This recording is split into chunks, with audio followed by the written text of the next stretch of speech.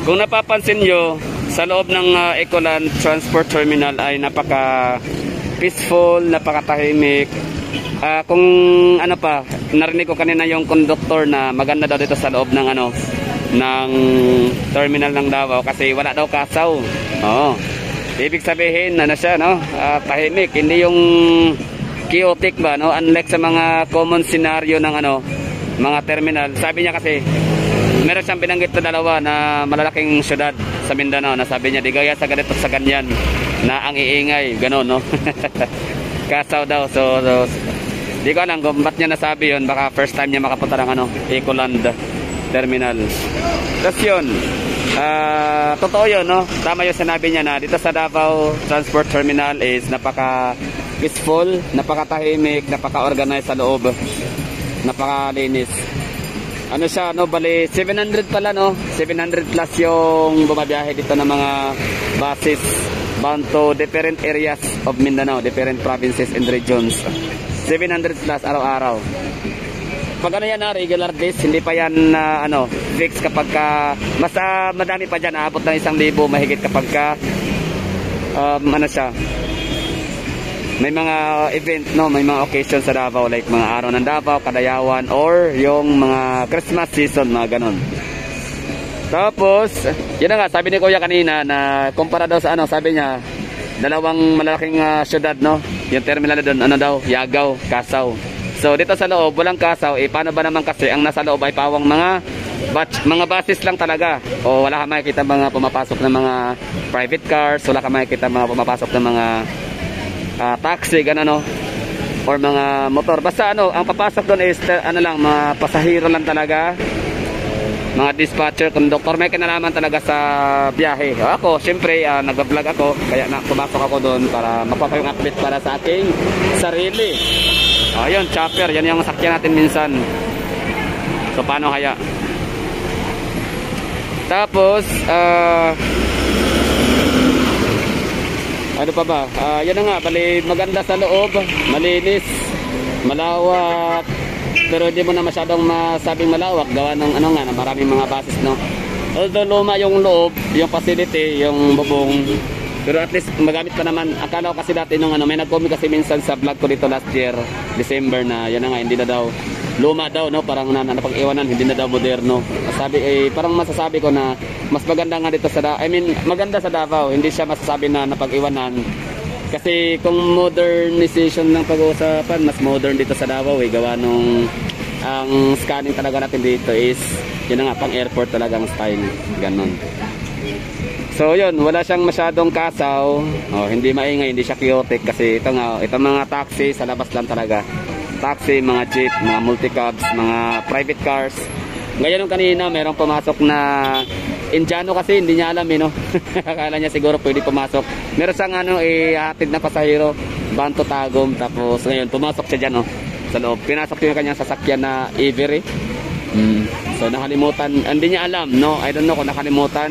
Pero mas ano, mas malapit siguro na sabihin ko na hindi niya alam. Kasi sinita siya nung ano, sinita siya nung gwardiya.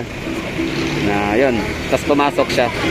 Kasi dapat dito na talaga yung ano dropping area para sa mga uh, pasahero. Hmm. yan lang. Tapos kapag galing ka pala ng ano ibang probinsya tapos magpunta ka ng Davao syempre nakasakay ka ng bus. Ang babaan mo, di ba pansin nyo kapag ka nababa tayo sa mga terminal, talagang terminal din sa loob. Pero dito hindi hindi ka ibababa sa loob at alam ko na ang, ang, ang reason bakit eh kasi syempre for security measure din no So baka isipin nyo na meron talagang babaan kasi minsan ako nakalimu nakalimutan ko yun eh na pinapababa na kami ng mga driver dito na area. Oh dito lang Davao na Davao. Oh.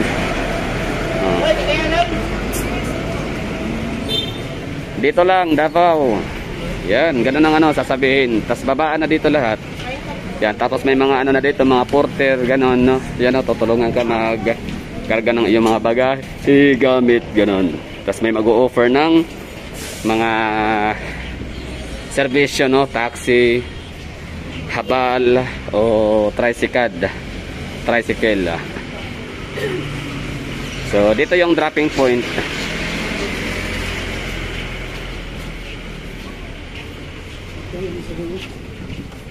Wala si nanay, wala man na siyang kasama.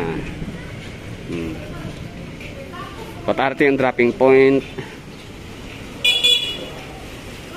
So, buti naman no, at ano, malinis ako dito kasi minsan pansin ko dito ano, masangsag. Pero matagal na rin yun eh. eh bago na kasi ako balik sa Davao. Ako yung nakakabalik ng Davao talaga na dito nagstay nung May. Kasi nga eleksyon, no? Tapos, bumalik ako ng Manila by August. Tapos balik ulit nung ah, September, October, December. Tapos balik ulit nitong ah, January.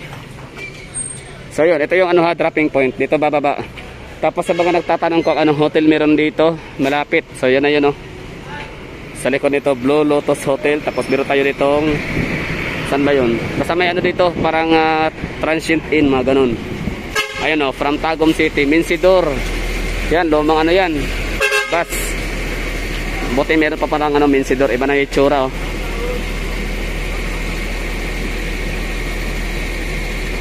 Hindi naman ganyan na itsura ng Minsidor dati. Aircon pa. Prepare lang no. At least maganda pa rin sakyan. Komportable. So ito yon no, mga rural tours. Pag ganitong hitsura, maganda talaga. Masasabi mong bound to Cagayan de Oro City. Oh, di ba? Social ang mga taga CBO, taga Bukidnon. Kasi talagang yung mga bus na tumatakbo doon, bumabiyahe ay ah, pang malupitan, pang malakasan talaga no, high tech. Modern. Pero di na yata uso ang free wifi ngayon, pansin ko lang. Merong bus pad, may CR, tapos yun, meron silang charger area, charging station. So ito yung dropping point area rito. Yan, oy, filtran ko. Oo nga, no, filtran ko pala. So, tatanong pala natin yan ngayon kung magkano. Mamaya, last ano, uling hirit nito. Pero matagal pa yan. Kasi bala ko rin magfiltran ko pa Manila. Pero kung dediretso akong Manila, magfiltran ko, wala eh. Sayang yung pera. Ang pagkakalam ko dati kasi, that was 2016 or 17 ba yun? Um, to 3,500 yung pamasahe papuntang Manila. Same din Manila to Davao sa may ah, ano yun sa may Cubao pa yung ano no, terminal papuntang Davao pero ngayon ah, wala na. Wala nang Cubao so PTX na lang lahat. Lalot na sunog yung ano yung parang Aranita Center something na terminal. So, try ko minsan na mag um, filtran ko. Pero hindi ako didiretso ng Manila, parang magka-cutting trip ako. Asa yung ano ko eh, ruta? Compostela? Ah, oh, mo ano? Ah, binawag nag ano ka, ng bus. So meron dito naka naka-standby na Compostela. Ang biyahe naman ito is Tagum na Bunturan. Dito naman sa ano na to, uh, parking area na yan, uh, yung ano bakanting uh, area na may mga bus na naka ano, antabay naman ay KTL to and Boston. Compostela, Tagum, Golden Valley. Kaya pilay pamasahe paano kaya at nabunturan? Ha? 150. 150. Ang Compostela mas layo, no? Pila, pila ang Compostela? Abot. Pila ang Compostela? Ang senior, oh, ang senior is pay 200. 200 pag dili senior. 240. Ah, to 40 pag Compostela. Nabunturan, human, ang sagay sunod. Montevista tapos pasunod, Compostela. Hantod pabataan pero Compostela mo taman. Wala aircon, tayo Compostela. Naman. Ana gyapon. Pila sa yung terminal. Ana pod sunod. Naman bis gawas na kitang may lagi. Ah, nagawat mong torno, okay. Abinaw na Adri, ana po dito sulod. Compostela. So 40 regular. Discounted 200. Multiple stops sino? Tanan mga terminal inyo gagian. Tama. Alright. Tapos, yan lang. Dito kayo bababa lagi, no? So kung may mga dala kayong malita, mga bag, okay lang kasi yan, simentado naman, no? Basta yung bag nyo, digulong naman. Tapos kung wala naman kayong mga malitang digulong, pwede naman kayong mag-hire nung ano, porter gaya no, no? Yung ginagawa na yan, no? Yan. Oh. Kita nyo yan. Tapos ito yung ano ha, papuntang uh, Katiil, Davao Oriental. Puntahan natin.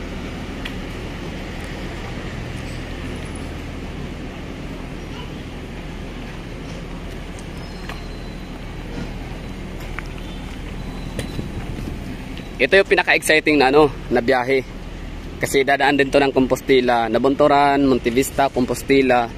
Tapos kaso nga lang madaling araw sila bumabiyahe no, so hindi mo makikita yung overlooking, yung magandang tanawin ng bukid. Yan o, Katiil, Compostela, Panabo, Tagum. Ilbe, Goyano Liner.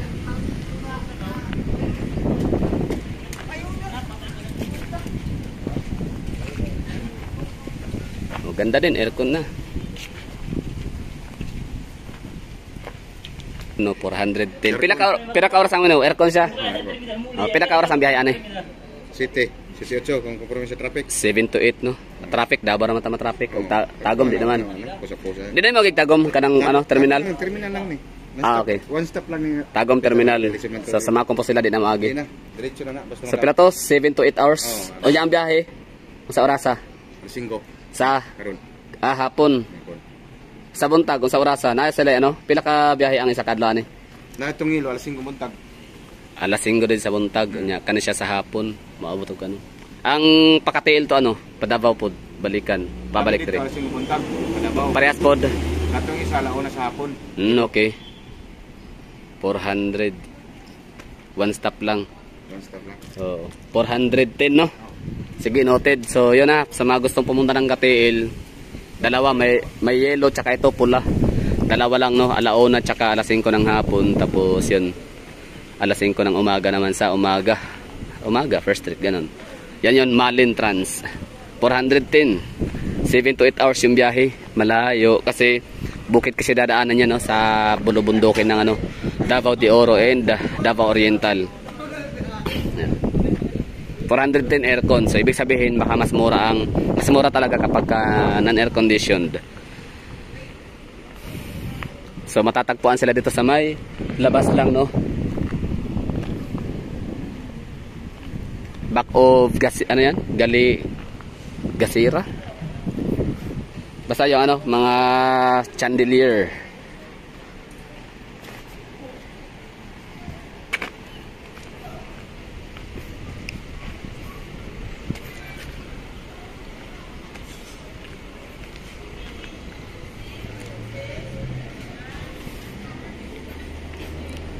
So ngayon pala puntahan natin yung ano, yung panglas sa banat yung info kunin natin doon sa may Filtranco.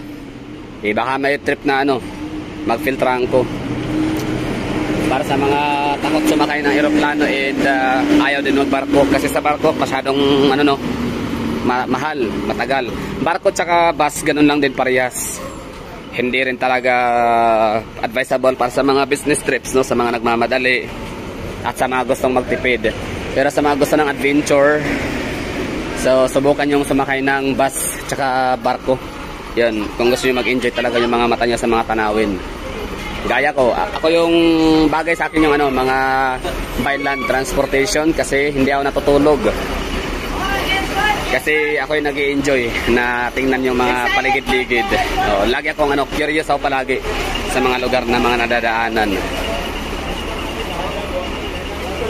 So ito yung babaan dito. Single motor, motor, motor, motor, motor, single motor, motor. Ganyan yan, no? So, may ano dyan, may mga porter dito, may mga dalang mga kariton. Tutulungan nila kayo na dalhin. So, di ko na alam kung magkano yung serbisyo nila, no? Serbisyo. Kaya tagpilang ano, inyohang bayad ane. Pag mag ano, mag... Dili, pag mayon ane, ba pilay bayad? Kung magpakarga, ano yung mga gamit sila. O depende sa kadagan sa imong gamit. O kata to, ina to kadagan. Tingnan na to, asa man na dalon? Dili, asa man to paingon? Asa to paingon? Ito. 100 rin bayad. Ah, 100. So yun, kasi para alam nyo mga hagala kung magkano magiging ano, budget nyo pera. Kunyari, marami kayong mga dala, karga. Oh. So, pwede kayo mag-alat ng 100 pesos para matulungan kayo ng ganong mga, ano tawag sa inyo, porter, di ba? Oo. Oh, yun, oh, may mga ID naman sila. Oo. So, legit yan sila dito, tutulungan kayo niyan, dadalhin kung saan daw gusto nyo. Oh. Di ba? Pasok sa loob. Oh, pasok sa loob, pwede din. Sa ano? Ba't sila papasok sa loob? Ano mo sa umusod man sila? Kuan, biyahe mo sila. Murag ka ng... Dropping raman ito. Dropping? Oh, dropping area ito. Ah, Tapos so di- papasok sila sa loob. Sakay na po. mga departure doon, papunta ng Tagum, Cotabato, Ah, okay. mga Marbel. So, imong pasabot di ay is dili tanan mo na diri ay sa Davao lang adto at tagom mo ba ng mga botuan ano murag ka ng ah, double trip sa na Ah, cutting trip Oh, mm, cutting- cutting trip cutting. so ang inyong presyo is 100 pesos inato kadaghan ganina oh, mga limang item. lima kahit asa man na mahal na barato Barato lang. barato ra Ibara barato doon. mm, Eh, barato lang kung pala idaan namin sa taripa, malaki ang mabayaran nila. Mm. Hindi na lang namin dinaan sa taripa kaya kasi maawa kami sa iba. Ayun, kasi yung iba kasi ah, parang nadadalawang isip na magbitbit ng maraming bagay, kung ano-ano pa mga prutas, kung ano mga dalahin, gawa nung sila lang mag-isa, babae pa, di ba? Eh, walang uh, susundo. So, meron pala mga porter dito. Pagkababa nyo lang talaga ng bus, yan o. Pagkababa dyan, may, suso, may sasalubong naman sa inyo. Mm. Pagpasok doon sa loob, ikarga pa namin doon sa running board. Yun. Tapos okay, aalis sila kagad. O, di ba? So, 100 pesos. So, ibig sabihin, mag-prepare kayo ng 100 pesos para yung, ano nyo, yung hindi kayo ma-stress. Di ba kayo? Oo. Mm. Para beauty gyapon beauty, no? Oo. Para, ano gyapon ba? Kasi, kasi yung mga porter dito, may mga ID. Oh, may mga ID. number Oh. sa likod. Kung sakali na mayroong hinihila. So gawa sa 100, unsa pa ka ng pinakabarato, napit mo pabayad 50 na apod. mayroon, may 50, may 30 pesos. Ah, basta kay ano depende sa kabugaton. Depende sa karga niya. Oh, conforme na lang pod. So, kung okay lang, kung konti lang, di, konti Sa lang karton. yung oh, mabayaran nila. Tama. Kung marami, marami di. Malaki-laki yung mabayaran nila. Pila mo ka book diri ah? Mga Ano, polo. Mga... Mga 13, polo, may 20. Basta 14. mo na yung sa ninaw draw. Na may nakalagay DCOTT ano yan sila mga legit Dikot, yan. dikot. Kasi kung di ka naman nakaganito, di ka naman papasok sa loob. Bawal. Bawal. So yun lang, at least no, may mga katulong. Hmm, Hindi nyo na kailangan na tawag nito, bubuhatin yung mga bagahe nyo na napakabigat. Trapping area. Galing ng, ayan, galing ng Cagayan. Ito, galing ng at Kidapawan. Mm-mm. Parang galing ng Kidapawan. Oh, gaya niyan. Oh, drapi si sige koy. Ah, good luck. So yun oh, legit naman sila na ano talaga sila. Registered sila sa DCOTT. So kung ako'y tatanungin, tatanungin nyo ko kung bakit dito lang talaga sa labas ang ano hintuan, bakit hindi doon sa loob. Ano yan, for security measure, no? Tsaka hindi lahat, hindi din kasi ganun kalapad, hindi ganun kalawak yung ano natin, yung ah, terminal area para ma-accommodate lahat ng mga buses na papasok. Mantagin mo 700 labas-pasok, 'di ba? So hindi kayang i-accommodate 'yan sa loob ng ano terminal natin. Kaya bear with the management, no? So ganun lang naman, di naman talaga to mahirap tsaka di naman tayo siguro din araw-araw na bumabiyahe. So kung mayroon ng konting abala, eh pagpasensyahan na no, eh ganun talaga. Kailangan din minsan na ano, makisama. Oo. Basta ano lang, 100 pesos naman pala yung ano, yung babayad nyo doon. Pagka limang item, ganun mga limang boxes sa isang tulakan, ganun kadami. So siguro mga tatlo lang, pwedeng mga 60, 70, 50. Depende na sa inyo yan, abot kaya na yung inyong bulsa. Mhm. Kasi ako talaga pag nabiyahe, eh, sinisiguro ko talaga na meron akong extra, no? Na kahit konti. So, hindi man talaga ganun kadami, at least meron. Para meron ako pambayad pag ah, kailangan ko ng ah, mag-hire ng services. Gaya nga nung ano, nung mga porter. Filtranco, we are now serving southwards to Bicol. Aircon, asa pa masaya ni Koy? Wala ginang abotang. Asa man? Kunyari, ah, Davao to ano? Davao to Manila. Ay, dara. Ay, wala. Ayan. Ayan o, yun ang biyahe natin ah. Destination, Dait, Iriga. Pasay, dito na, Bicol na kakuan, Bicol. Ah, sabi ko na Naija. Okay. So Davao to ano, Pasay pinaka ano, pinaka target na to sa Manila. Pasay, Bicol. Pasay Pasay Pitix, pila. Free 950. Sa regular na. Regular pag discounted ang mga senior. Okay. 3,950. Pila ka adlaw, biyahe, pila ka oras. yo, yo, yo, ang wala na yung So ito na lang ha, so wala silang kasing maibigay sa atin na direct site para doon kayo mag-inquire sa mga, yun, katanungan kung ilang uh, mag, mag, magkano pamasahe at anong oras. So yan o, i-screenshot. O sang ano, pila ka adlaw yung biyahe ko eh? Duha o tuwa. Duha og tunga. Oh, dili ra mabutag out. Dira abot og 3 days, 3 days and 3 nights, dira ka abot ana. Unya ang atong biyahe diri sa ano, Davao, Mulakaw ta, usang orasa. Alas 10 sa buntag. Permente kada adlaw. Oh, kadadlaw. Kada adlaw alas 10 sa buntag, wala lain. Pag kuan Sunday, Tuesday, Thursday, Monday, Tuesday, Thursday, Sunday, Tuesday, Thursday, duha ang atong larga. Sunday, oh, tanda na. Sunday, Tuesday, Thursday, dalawang ano, dalawang trip. Ang oras ana, ang orasa. Ang oras sa first trip, alas 10 sa buntag, Okay. ordinary. Okay, ordinary. Oh, Basta na, tapos, o tapos, 7 p.m. Aircon. aircon. Ordinary is dili siya aircon. Ah, Dili, or, ang, ang ordinary is dili aircon. ordinary, kuha na siya. Di, kanang ordinary siya, dili siya aircon. As in, open air, ana. Oo. Naday gawon, okay. Kapan na ron? Okay, pila ang ordinary gani? 3620. 3620. Davao. 3920 ang aircon. Okay, tandaan na 3620 pag ordinary. Ibig sabihin hindi air conditioned. Pag air conditioned naman ay 3,950. Tapos ang biyahe nun is hindi aabot ng 3 hours. I mean 3 days. Parehas yun. So, sa kalayan sa ano, gawa sa aircon, napay CR ang ano, na CR ang, Wala po. ah, wala CR. Uy. Po. Siya kay experience mo yan ang CR sa una. Wala. Hindi mo silipit. Baho ang truck. Baho ang truck. Sa baga, ah, kay 3 days lang good, no? Hmm. So, sa man natin nila, manginabog tubig, permente, no? Kuan. O, dahil kanyon. Ano? Okay, ang ato ang maagian, gikan sa Davao to Lipata, di ba, sa Rigao. Kung saan mga terminal nga agian, tanan, Tagum. Hindi na mga Di na magi Tagum. Tagum lang. Tagum. Tagum, San Franz, Ah, Butuan City. Ah, Patinay, I mean sa ano, sa Ampayon. wala na may terminal yan. Wala, ah, Kabadbaran. Kabadbaran. Pasok ka kabadbaran kung may sa aero. Okay, so, ah, paano malaman na may pasahero? Tatawag. Oo, tatawag mo. Ay, may booking mo. Mm. So, basta ito ha, tawagan nyo ito ha, for reservation, mahalaga yan. Screenshot nyo na lang. So, ulitin natin. Kung sila, ah, ito ang active ngayon. Ah, ito yung active. Ito, ito, ito. Ah, ito, active yan.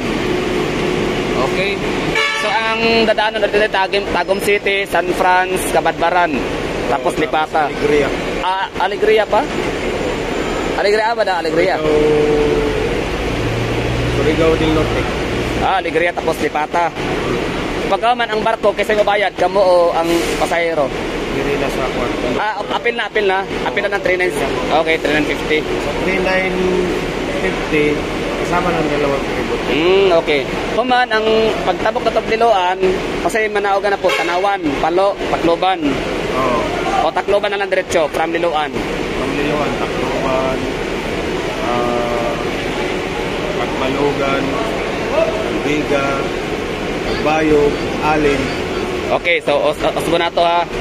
Ta gikan sa Liloan is Tacloban na po. Duman sa Tacloban is Ka Kalbiga. Kagaman, uh, Katmalogan, tapos Kalbayog, tapos Alin. Ayun, tapos sakay ulit ng barko. Tawid naman ng Matnog. So from Matnog, kung sa'yo magiana po na to nga hunungan. Sorsogon City. Dili na. Wala na. Wala na. Uh, Legazpi City or Daraga. Wala na yung Wala na Legazpi City or Wala Daraga. mo na, hugok, yun. Ah, okay. Pero ingon na mo pick up, wala. Okay. Pick up or pasok terminal, wala na. Okay, sa Kamsor, na Pili, Naga, Wala na na po. Pag may munaog, pwede. Okay. So, Quezon Province, Ragay, wala. So, yun lang nga. Ito active yung ano, active yung 24-7 mo mo ba? Tinawag. So, tawag kayo dito for reservation. Yan ang, yan ang active. Tapos, yun lang siguro. So, maliban doon, ito rin active din to ha. So, tawagan nyo to, Petranco, Davao, Torbina, Pitix, Pas, Pasay, Bicol, Samar, Leyte, trip schedule 10 a.m. Yan. For more info, yan. Call and text. Okay, so maraming salamat lang. So that's all for today's video and I have to say goodbye and bye-bye. Maraming salamat sa mga nanonood dyan. Minsid or Tours. Bye-bye. So comment down below sa inyong mga katanungan at yun, tinan natin na makahanap tayo ng tamang ano, time lapse.